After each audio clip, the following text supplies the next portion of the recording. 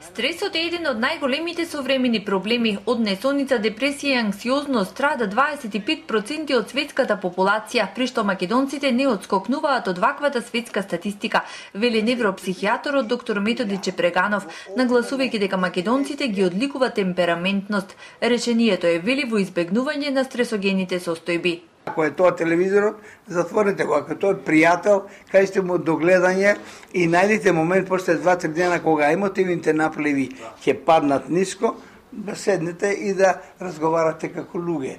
Затоа што има на стара кинеска поговорка вели огинот пали огин.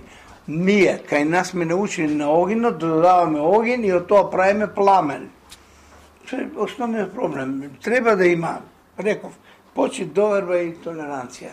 Темпераментот не мора да биде конфликтен, туку ставен во правилна функција може да биде позитивен двигател. Ако се стави во една правилна функција, за што е она што можеме да направиме добро за себе, за обштеството, за соседството, за да го исполниме моментот што се вика хуманост во себе, тогаш нема никаков проблем. Токму на стресот се осврнува и најновото издание на Чепреганов и Костовска, кое денеска беше промовирано во Битола под насловот Стрес, несоница, анксиозност и депресија. Околу 2,5 милиарди луѓе денес во светот не живеат ненормално, него не живеат, живеат под некаков под некакво чувство на стрес, што е една огромна бројка и која раѓа, да кажеме, некакви патолошки состојби во непосредното живење, Колку една земја е поиндустриализирана, толку е стресот по изразит Величе Преганов.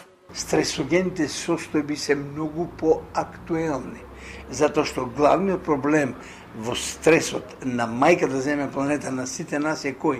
Екзистенцијалниот. Имам да јадам или немам да јадам. Имам да постам или немам да, да, да постам. Тоа е основното правило. Сепак посочува дека во Македонија се уште нема доволно развиена култура, помош да се бара кај психолог или психијатар.